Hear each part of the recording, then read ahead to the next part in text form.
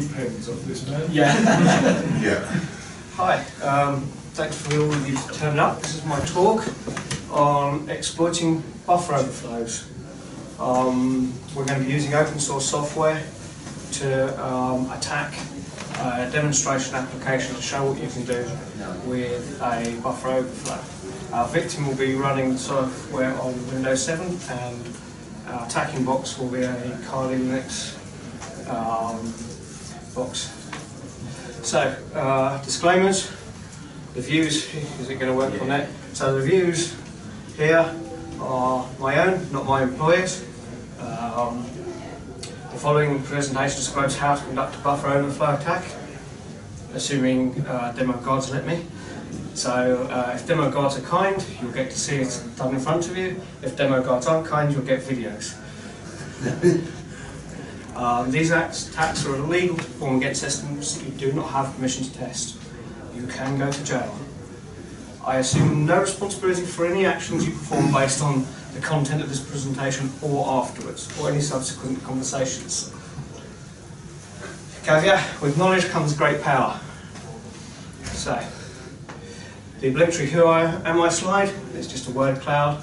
Um, I hold the Offensive Security Certified Professional, the OSCP qualification. I'm also a member of the British Computer Society and a Chartered IT Professional. Occasionally surf, I'm occasionally a dad, and I also hold the UK's Tiger Scheme accreditation for security testing, um, accredited by the CSG and GCHQ. And I've been a fan of open source uh, for a long time. My first distro I looked up this morning was uh, Fedora Core 2, which came out in something like 2004. So, so anybody tell me who this guy? No? This guy is John von Neumann. Now he's a little bit special. By the age of eight, he could do calculus, which is pretty impressive.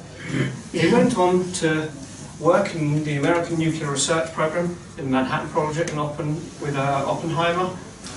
Um, in 1949, he wrote a paper called um, the replicate analysis of self-replicating automats, and in it, from that, we get the architecture that modern computers use. He was a really gifted guy. Some of the research this guy did was absolutely amazing. Um, unfortunately, he only lived to 53. But all the computers you've got here are von Neumann architecture. So we'll just have a bit of a video. This just explains the von Neumann architecture. Essentially, it's a stored program computer. Originally, older computers like ENIAC and Colossus had to be programmed and they had separate memory for programming data. That's known as a Harvard architecture. This is how our computers work now. They all work this way. So, if you want to see the full uh, excerpt, there's a little bit more, but I just cut it a bit down just to save some time.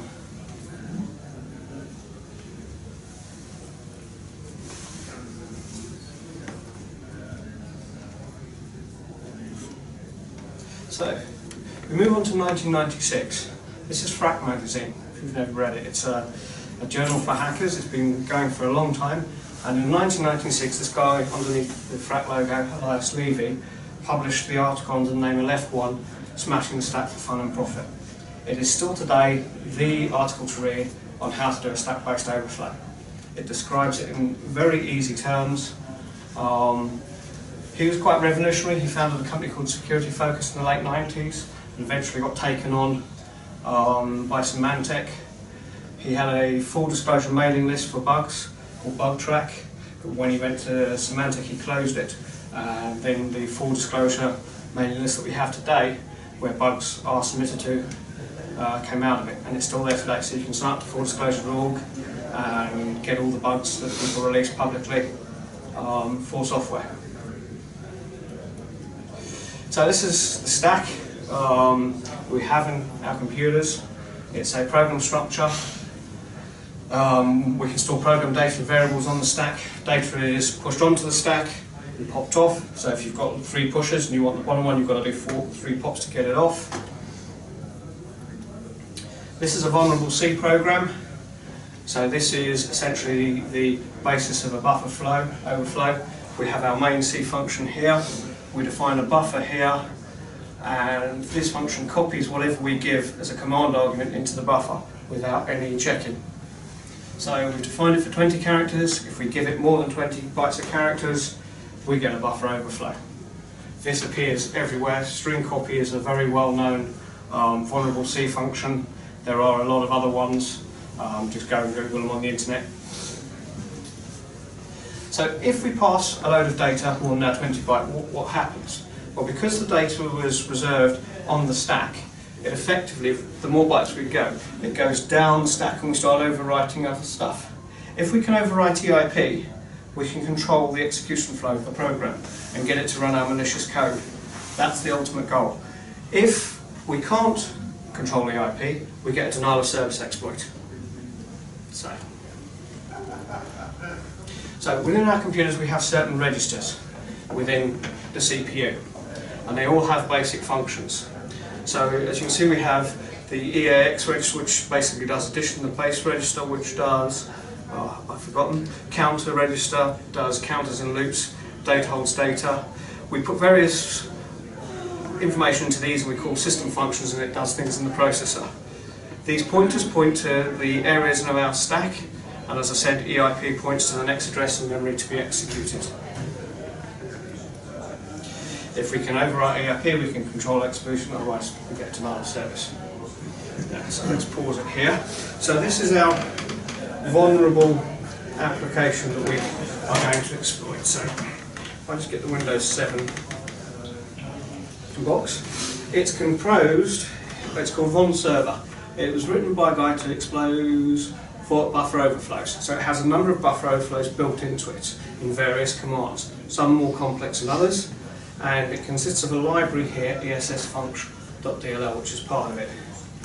If we start it up, it communicates over port TCP over port 999.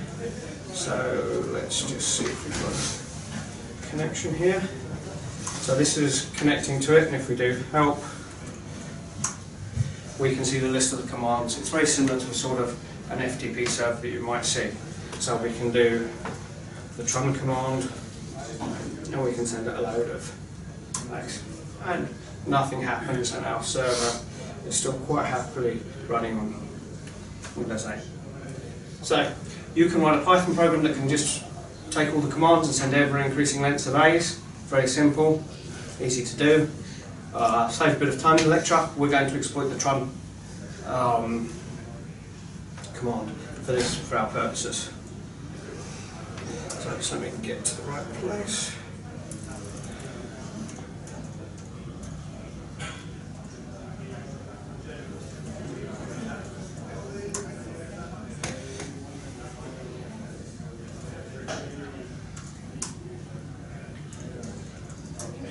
So, let's show you the first program. So this is a very simple Python program. We connect to our IP, a port, we take our input and convert it to the right format, we create a socket, we then receive the banner. We saw help vulnerable server, we receive that banner, because if we don't do that, it won't programmatically talk to it. We then print something to the screen, we then send whatever we define in the length of our attack, the trun command plus the attack, send it and receive and clear down. Fairly simple bit of Python. So let's give it a go.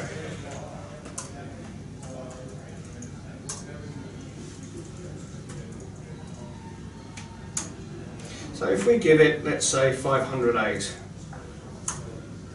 right, that's not, trust my luck. Is my server running?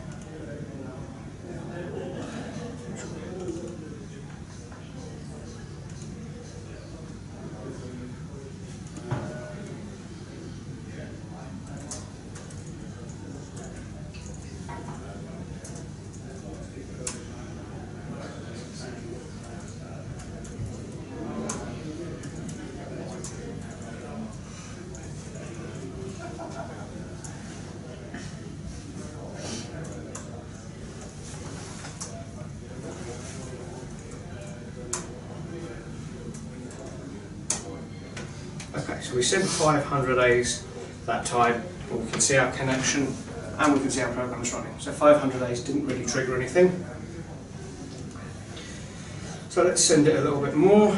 Let's send it 2000 this time. Now, whoops, we crashed it. Yay, so 2000 A's crashes the program. Okay, so let's restart the program again. And we're going to try 3000 as well.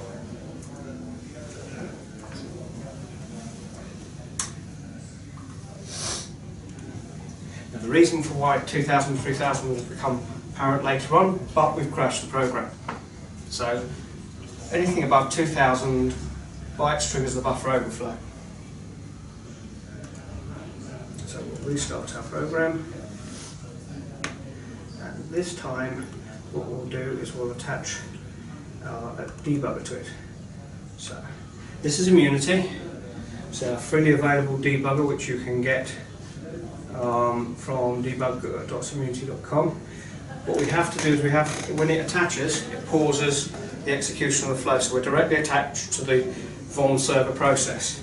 So if we start it back up, and what you see here is you see the registers we mentioned, you see the actual assembly of the module that we're in, you see a dump and you see the stack. Okay? So the program is running. Now if we send it out 3,000 characters, it will record the crash, which is what we'll do.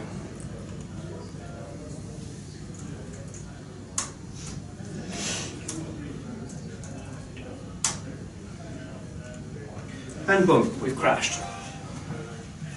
So we can see that we've got an access violation.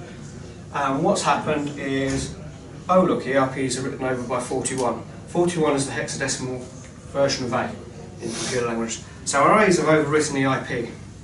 Other things to note. We can see in the EAX register our actual command here, but more importantly, we can see this register, ESP, stack pointer, has some of our data in it. Okay? This is fundamental.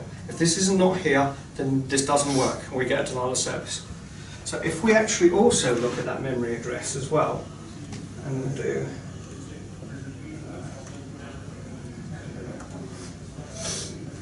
we can also see that that area of memory is where our A's are. Okay? So we've got a whole load of A's in here, and they start at this address here, okay? And they go all the way down to that bottom address, there. So if we subtract the first address from that address, we've got the size of our buffer. It's 980 bytes. So you do subtract two hexadecimals and turn them back. That's plenty enough space for our shellcode. Shellcode is anywhere between 350 to 500, depending on what functionality you're putting into it. So we've got a whole load of space. So, where do we go next with this? Right, so we just need to restart. The next thing we need to actually do is to work out, so we had our buffer of 3,000 A's.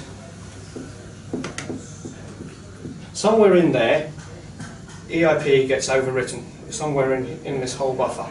We need to work out where in that buffer. Okay? So, one way we could do it is we could split the buffer into A's and B's. Okay? This is called the half split or binary tree analysis method. If it's in the B's, fine, then you make that uh, last 750. So you split it up and you keep splitting it down basically. So you keep splitting it. Eventually, seven times after, you'll find the exact four bytes that overwrite EIP. It's a painful way of doing it, there's a better way. Better ways to create a cyclic pattern. So a cyclic pattern is 3,000 characters that are non-repeating. And that's a bit painful, but guess what, Metasploit helps us. So I'm just going to start the process off because it does take a little bit of time for Metasploit to do it. So there is a, um, a command called pattern create, and if I copy this and put it into this other window here, eventually correct, I say.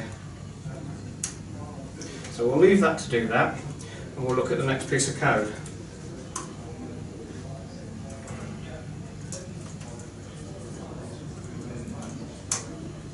So this is the next piece of code.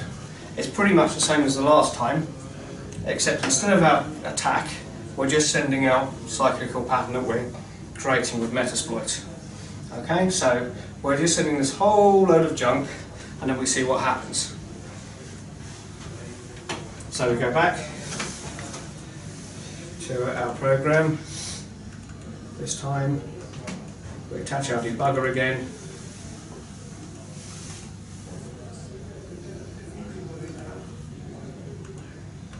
Make sure our program is running. And we just run out.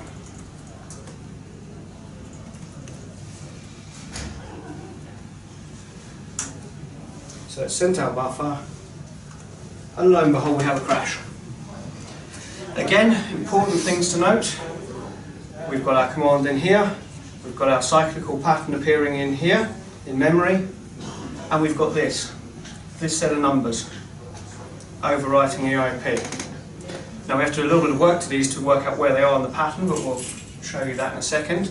But more importantly again, is that if we followed it in the dump, we can see our cyclic pattern in memory down here at our 980 bytes.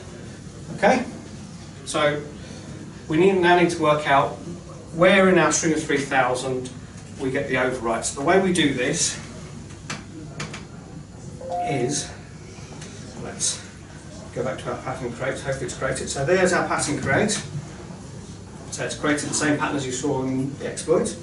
If I show you this little bit of there are different ways to do this, but what we have to do is, no, it's not in here. Okay, where is it going?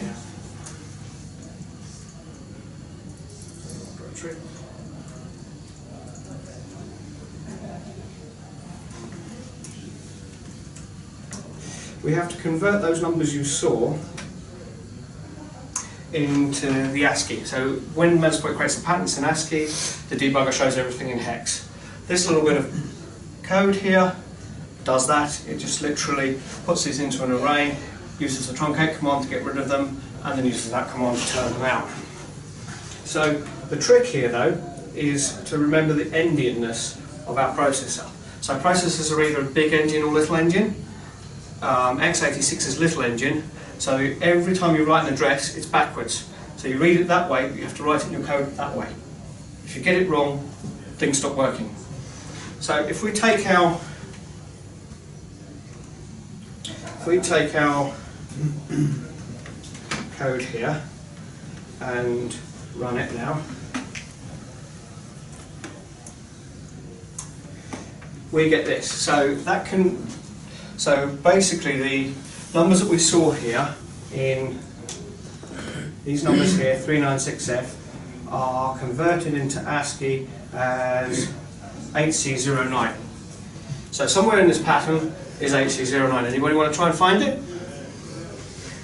It's a long way to find it, right? Guess what? Metasploit helps us again. So there is a script, it's rightly now called pattern offset. And we need to give it what we're looking for, which in this case is 8C09. And we wait and if this is correct, we should see it's at, at offset 2006. So what that means is that the 4 bytes of EIP are written over after the 2006 character, so 2007, 8, 9 and 10. Okay? So if so we now know where we can overwrite EIP. So what we need to now do is confirm that that's correctly the case. Okay? So next bit of code.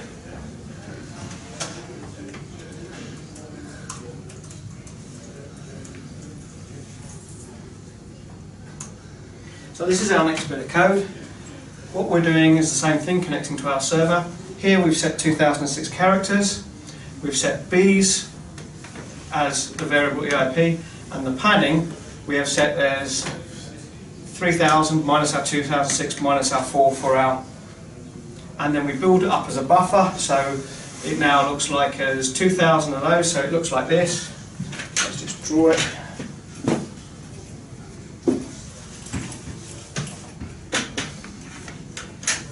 So we've got 0 2006 A's, F's, E. Okay?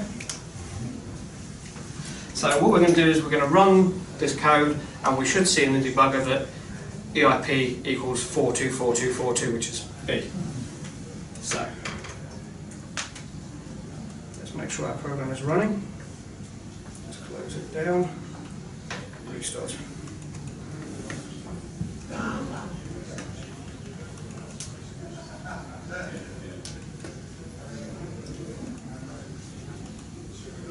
Make sure we're running. Go back to our code.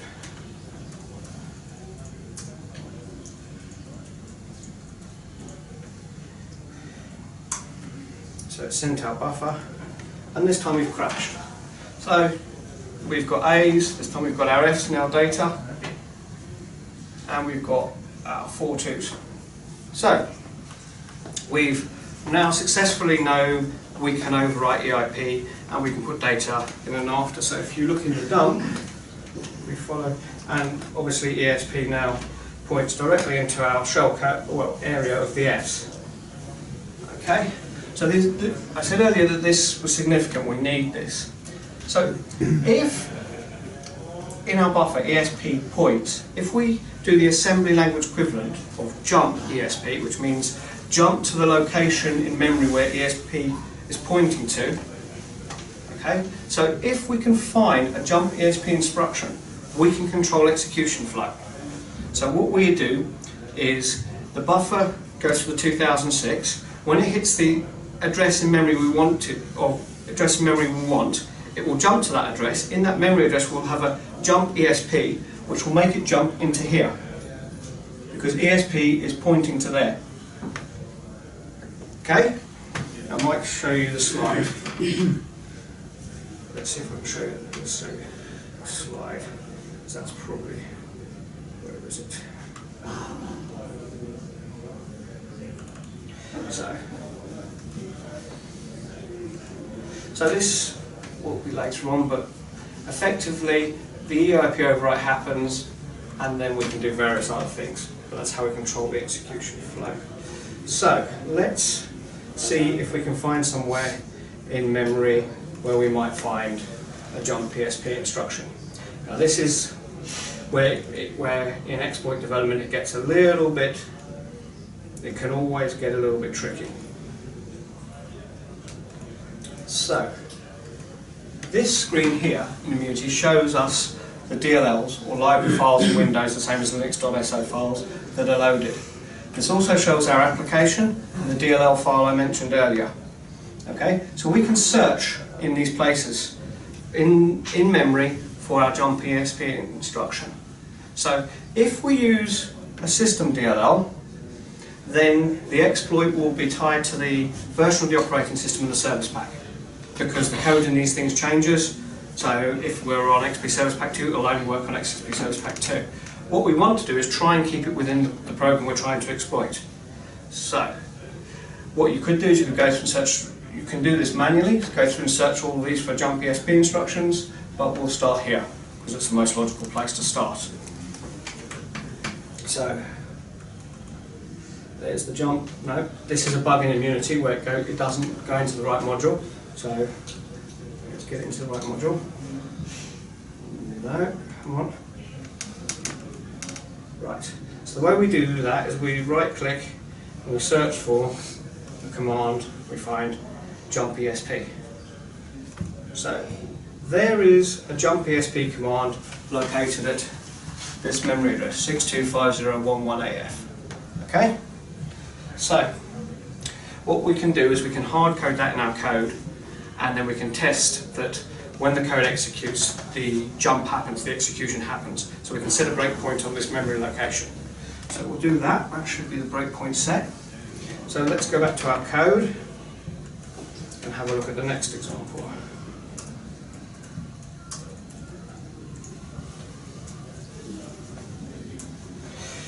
So, it's the same again, we connect to our memory on our port, we do our buffer. This time we've got our memory address written backwards, so if you look in here, there's our memory address, 62, and it's written that way. So in our code it's written like this. What we've got afterwards is this slash x90. So slash x90 in assembly on x86 means no operation. Sit there and do nothing processor. Okay? And then we've got these other ones, slash xcc. That means breakpoint.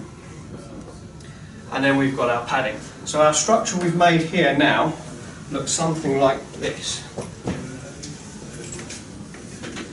We've got 2006 A's. We've got whatever it is, uh, 625011AF in that memory.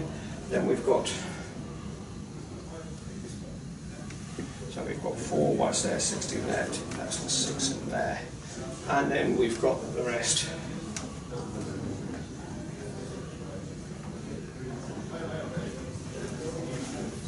So we've got our A's, our jump, our NOPs and our executions. And what we should do is we should see the buffer execution go like this, and then at this point it should go to our memory address here, the 62. So we'll look at that in the debugger and see that that's the case. Let's just make sure our debugger is sorted, breakpoint is sorted. Right, so run this.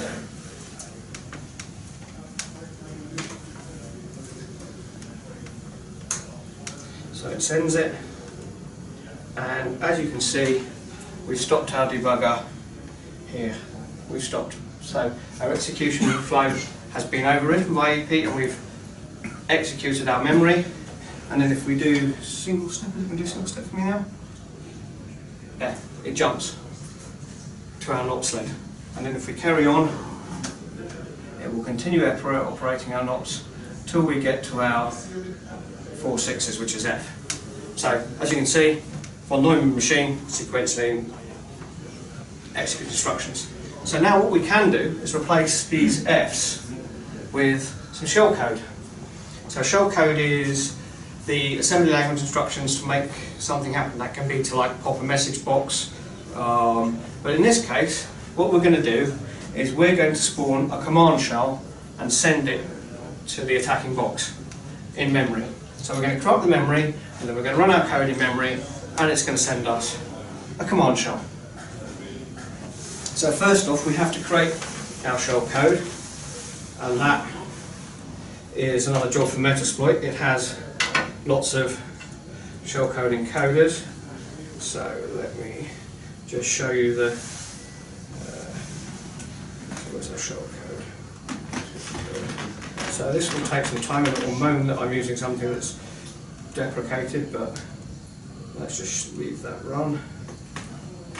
So what we're doing is, this is wrong, because our host is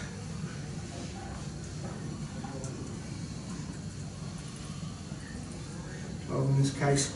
So what we're doing is we're asking for this payload, which is our command shell. We're telling it which IP address to send it to. We're sending it on port 443. This bit exit function means we're going to come out of a thread you know, when we exploit it rather than the process. If you do it as a process, you can crash it. We're then going to encode it. Oh, we've, we've missed something out actually. We need to go back one stage. We're going to encode it, and so let's leave that running. We'll do the bad characters. So there's one thing we've missed. He says. So problems we can encounter. Uh, the bad character problem. Certain characters um, in hexadecimal have meaning. So 0, 0, 0x00 um, in C means terminate a string. So if you, that will just stop us, our code executing. So you don't want any of those in there. For example, 0x0a is a line feed, 0x0d is a carriage return, and 0x20 is 32 in ASCII, which is space. So if we have those characters as part of our shellcode, it stops working. So all we have to do is make sure we don't have any bad characters. How do we do that? We do that like this. Ah, so you can see Metasploit is actually generated me my shell code. But let's do the bad characters. So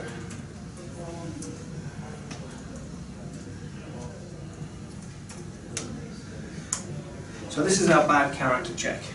So again, we've got our IP address, our um, we've just got the as being just B's and an offset. This is all the hexadecimal characters minus 0x00 because we don't want that one. So what we'll do is we'll do that, see it in the buffer and look at it in the debugger and see if any of these characters get corrupted. If any of those characters get corrupted, they become bad characters and have to come out of our shell code. So let's let's run it. Let's make sure we're we've still got uh, yeah. Pause. Uh, no, not that's from the previous one. Let's it.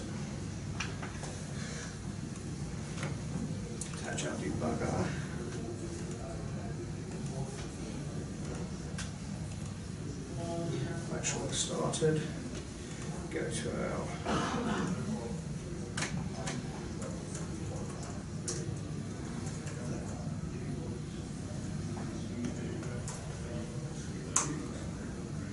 run it and we can see our crash if we look at our memory we can see here we can see our NOP sled 0x90 we can then see 01 all our characters going down if we look, we'll just scroll down. If we keep going, there is the end of our buffer with our F padding and LCC. So we can see that all our shellcode characters are good. We have apart from 0x00, we don't have any bad characters. So back to when I was encoding before, this line here, this part means I don't want any zeros. And this is the encoder to use x86. So this produces this rather strange looking stuff and this is going to be inserted in our buffer and will run a command.exe and send it to us. So let's just have a look at the actual exploit.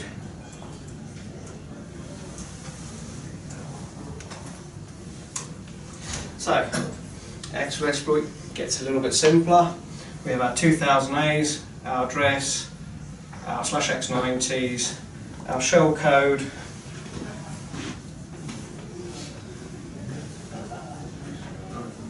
and then our padding, our Fs, and I'll generally send it to the target code. So if all is good and all works, this is what should happen, he says.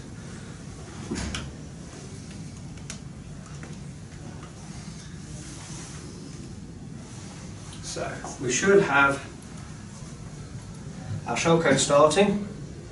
We should overwrite EIP, transfer it into our memory, which holds the jump ESB command, which then forwards us back to our NOP sleds of the slash x90s, into our shellcode we've made, and into our breakpoints. And if that happens, we're all good. We'll have a command shell. So the last part to do is to test. So what we do is we clear here and we set a netcat listener ready to receive our command shell. And over here, we have our program.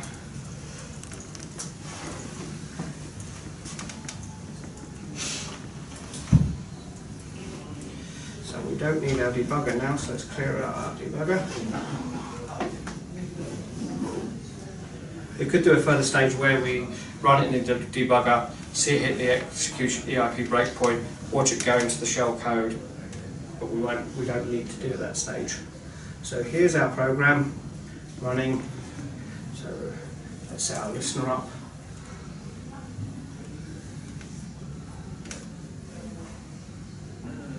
There's our listener and our bad program now. Uh, so with a bit of luck.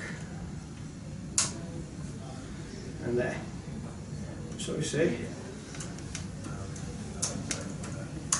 a command shell.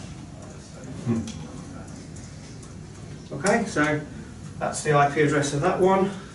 And just so we're, we're clear, there's the IP address of that one. So if I put them side by side,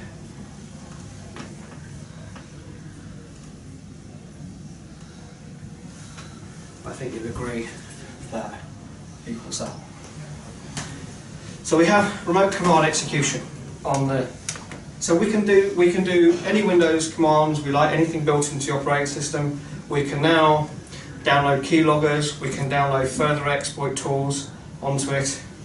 Um, typical uses of this would be if you're doing a network penetration test and you want to laterally move through a network and you find a vulnerable host. This could um, give you a shell on that host and then exploit your privileges further. So there's some other things I want to point out to you guys as well. This is running in memory, okay, on the Windows target. If we close the program, okay, that, that did clearly, that's what it should do, yeah. So it, it closes the connection. So what you tend to have to do is to migrate, um, I need another desktop. There's one last thing I want to show you guys.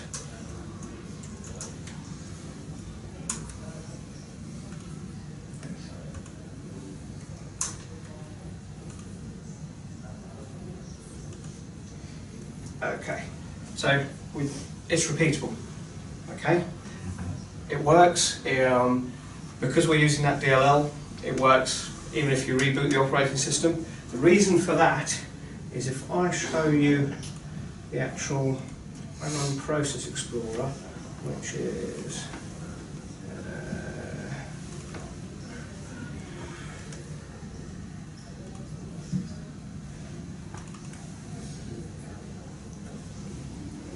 So Process Explorer is from the System Internals website, uh, part of Microsoft. Here is our program. Notice that it has data execution prevention, one of the protections in Windows, but it doesn't have an ASLR. So ASLR is address-based layout randomization, and what that means is when a program is loaded each time, all the DLLs are loaded at different different locations. So it makes exploitation very, very much harder.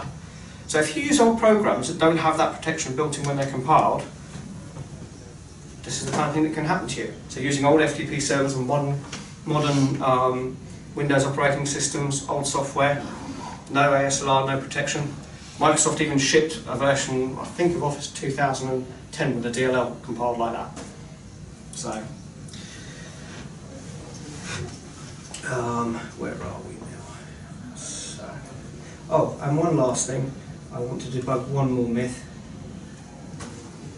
Antivirus does not protect you against memory corruption bugs, despite what anybody will tell you. You've just seen it. That's a fully patched Microsoft Security Essentials, and it didn't stop me exploiting the vulnerable program one little bit. If you want to protect against things like this inside a network in a company, then you need to use other tools, either um, IDS, IPS, or CM, um, which is Security Information and Event Monitoring. So, Excuse me, you said, you said the shell was running in memory. yeah, And that if the, if the whole process was shut down on the machine, then. then the could shell dies. Did you say you were going to do something else to make a new shell? Um, what you can do A is persistent shell. the what you can do is depending. This is a very easy code. So in Meterpreter, if you have a Meterpreter shell, you can actually migrate your processes. So you can actually migrate from the process you're in, which you've exploited, to a safer process. And commonly this is done in Flash exploits. So, you know, if you get exploited on Flash, first thing it does is migrate out of the process so that when you click the cross on your browser, they've still got access to your machine because it's now running in IE. I haven't demonstrated it with an interpreter shell, but you can do. But yeah, you, this is a very simple um, command shell um, exploit, just to show you how it works. So I think we're almost done, apart from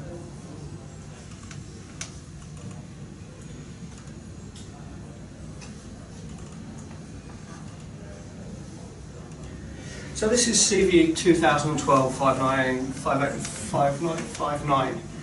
This is an example in the libupmp library and the Intel UPnP libraries. There are basically tons of these buffer overflows in them. Uh, HD Moore found a load of them, and there's lots of um, things in Metasploit to exploit these. So this is just an example. There are other ones, but that's less than two years ago because because you start with the year and the numbers go up each month. So that's towards the end of 2012, basically. So last. This is something that we have around here in Jersey. I'm not telling you where it is, but it has a vulnerable UPnP stack, exactly the same as the code you saw. It is vulnerable. Exploiting it is not too difficult. It might happen, it might not. There was at one stage nearly 20,000 of these devices. Between there's now about 9,000. Um, there's 700 in Jersey, odd. There's some in Bahrain. Um, you know, if you knew what you were doing, you could do kind of bad stuff. So that's it, guys. Questions? You, you know, you're talking about how it's mostly affecting sort of older or poorly programmed software. Would you say this is sort of a legacy attack type now, or would you say it's still very much alive and well? It's still very much alive and well. Yeah, um, you know, it shouldn't be. It should be dead and buried long time ago. You know, you should be using safe C type functions in your programming. You should be adopting a secure uh, development lifecycle, and you should be doing code reviews in your code. But they're still here. There's code hanging around from written a long time ago. That libupnp library was written a very, very long time ago. You know, recent attacks slightly different, but again, old code not looked at. Heartbleed, um, an absolute classic, an information disclosure bug. Um, you know, so yeah, I still think we'll see them for a little while yet. Would you say they have any sort of successor attack style, or do you mean do they elevate into a new form? yeah? Mm, 'cause, you saying Well, I suppose I, I tend to put these in the class of memory corruption because we are corrupting the memory. That's my own personal view. So then, modern versions of memory corruption that carry on further are things like heap sprays, um, things like GOTR, oh, GOTR so not really. Um, use after freeze are another common one, the same sort of memory corruption bugs, and they're still definitely well alive out there. Uh, if you look last week, there was a bug in Flash that caused Adobe to uh, send out three um, updates in less than two days, and that was actively exploited by the Angry UK exploit kit, and they have got the ability now to run the exploits in memory, and they did 110,000 Facebook users with it. That's nothing in terms of Facebook's user, but it's still 110,000 machines compromised. But, um, so generally speaking though, this is a Windows specific flaw. No, it's, it's completely related to the memory. It's completely, re- it's, it's across any computer system. If you code the C, like that example that I had, if you have or use a vulnerable function and don't put the protection in, then you have a buffer overflow. The trick is just writing the shell code for the architecture. The shell code is independent of the architecture. So x86, which is what you saw here, then x64 is different, ARM is different, MIPS, you know, it's just depending on the But if architecture. I'm running on a Mac OS, I can still write for it. For You can, you, you can, you, you can, you can write that um, original example in C and do the same buffer overflow on a Mac. It will work. It's just harder to, maybe the memory structures are different, but buffer, uh, it's, it's a universal. If you know that, you can still use it and, and exploit it. In theory, yes.